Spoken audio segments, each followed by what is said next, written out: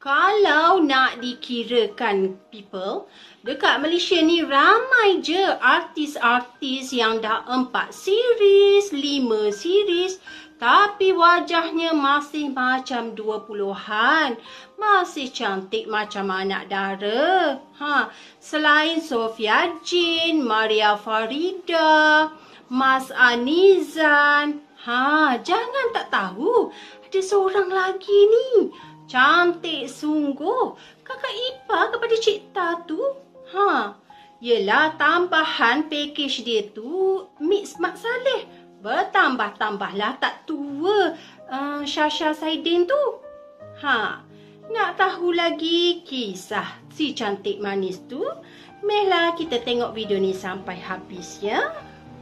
Jika dilihat pada raut wajah yang dimiliki, pasti ramai di antara kita yang tidak dapat meneka usia yang dimiliki oleh pemilik nama penuh Shasha binti Muhammad Saidin atau lebih mesra disapa sebagai Shasha Saidin ini.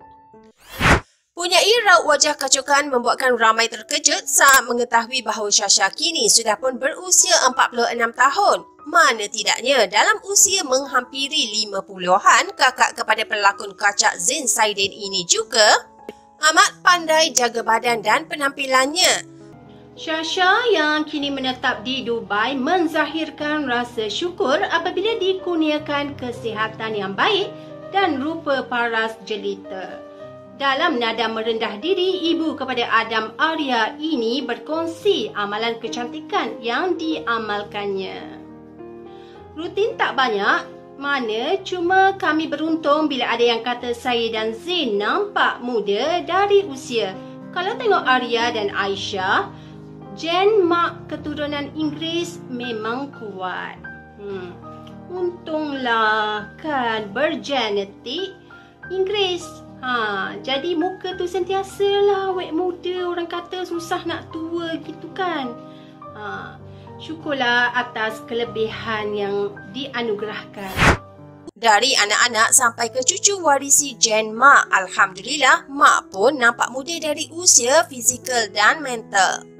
Bahkan masa saya remaja umur 13 ke 14 tahun dulu, muka saya nampak lebih macam budak-budak lagi.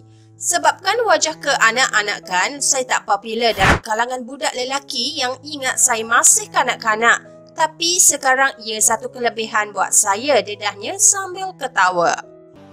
Untuk rekod, Syasha melangsungkan perkahwinan kali ketiga bersama duda anak dua Sirhan Wahab pada Januari 2020 dan pasangan ini menetap di Dubai.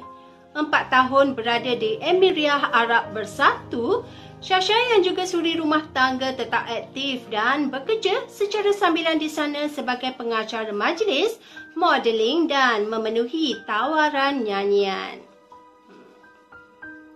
Walaupun dah nak masuk five series people, ha masih aktif lagi.